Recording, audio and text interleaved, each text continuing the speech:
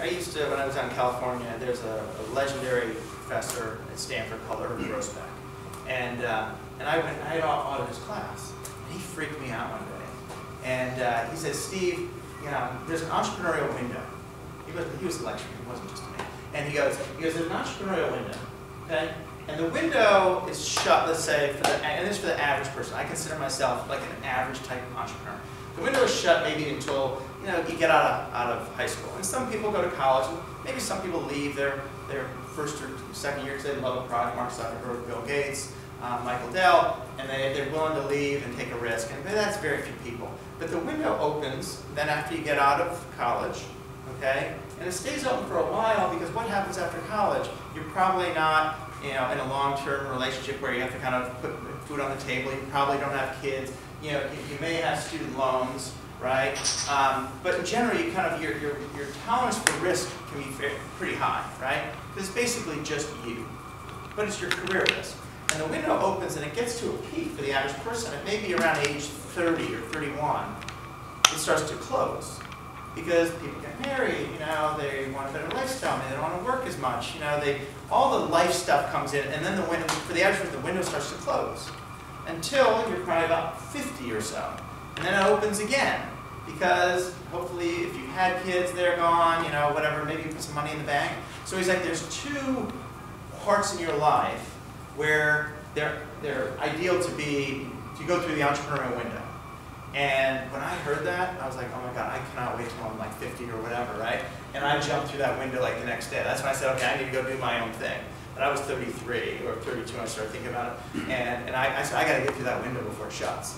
and, but I had a very, um, my wife is really supportive of all this. And, you know, she was working too, so it wasn't like putting everything on, on Red 19 and spinning. So, but I think preparing for that moment, it, um, I, I think entrepreneurship classes like this, and entrepreneurship is like training, like going to the gym and training a muscle.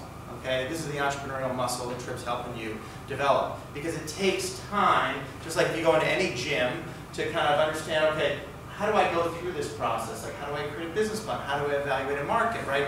Um, then, how do I have enough experience with people, right?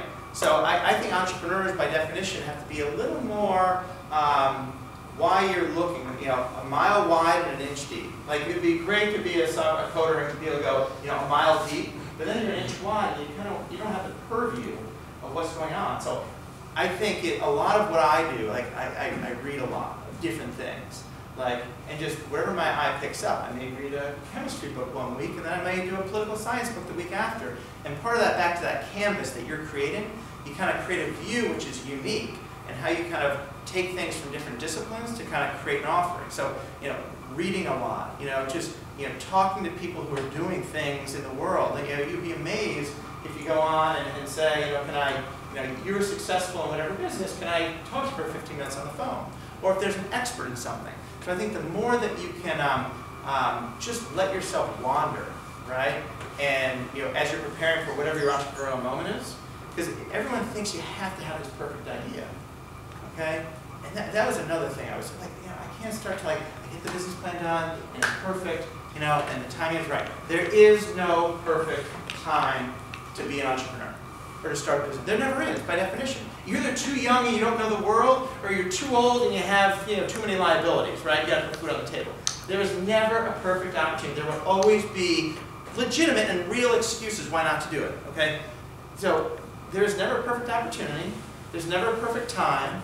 There's never enough money, right? It just has to come down to your true desire to say, look, I'm willing to take my time to deliver this, right? So until you until that time comes, and, and this this entrepreneurial expression may come out of you tomorrow, it may come out in five years, it may come out in 10 years. You don't know. But this, what you're doing in this entrepreneurial gym is important to kind of get in your, your, your own mind, what's the framework by which I have to go through this?